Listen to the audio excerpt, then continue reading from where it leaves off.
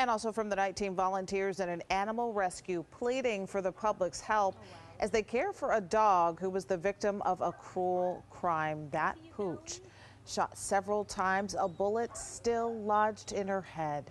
The night team's Franklin White is live in Southwest Miami-Dade where vets are now taking care of that pup. Franklin?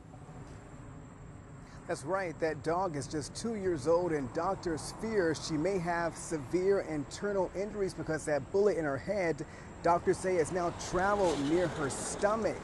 They're now hoping for a full recovery.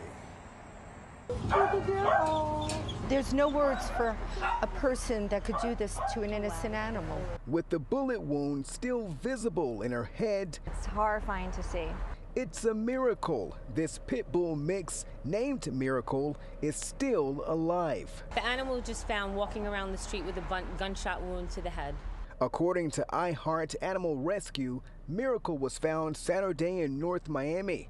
When Miami-Dade Animal Services went to pick her up, they quickly realized she needed immediate medical attention. That's when iHeart stepped in and rushed her to Knowles Animal Clinic in southwest Miami Dade. Right now, she's not stable, so she can't do surgery. Once there, the vet realized her injuries may be worse than he initially thought. What his concern is, he can see the bullet.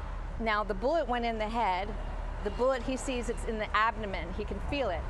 But the question is, what happened on the ride?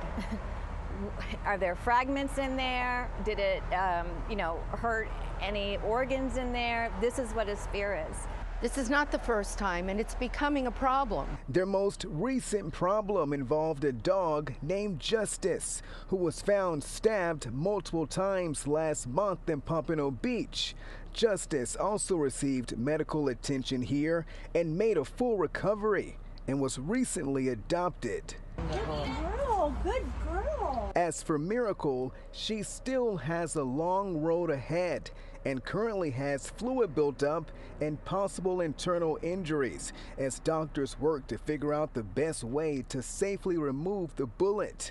The rescue group not only hoping for justice when it comes to finding whoever shot Miracle, but also hoping for help getting her the care she needs and the life she deserves. When they get here, they stay here, they get what they need, and then they need to be going into a foster home.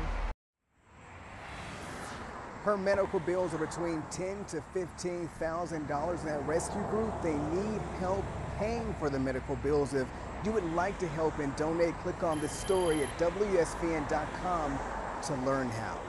Reporting live in Southwest Miami-Dade tonight, Franklin White, 7 News, Night Team.